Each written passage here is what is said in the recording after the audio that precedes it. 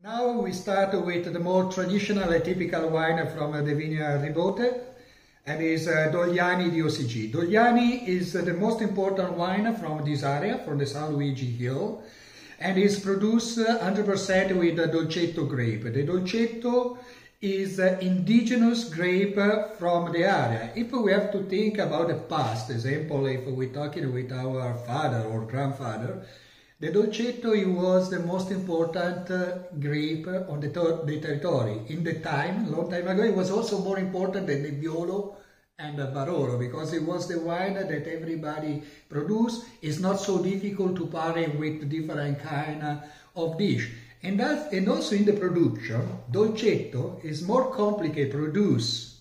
The technical production, Dolcetto wine, I mean Dogliani or some other, other wine with uh, Dolcetto grape, that produce wine with Nebbiolo grape because this grape is more complicated, more delicate. You need more attention on the harvest in the production and the cellar. Salud.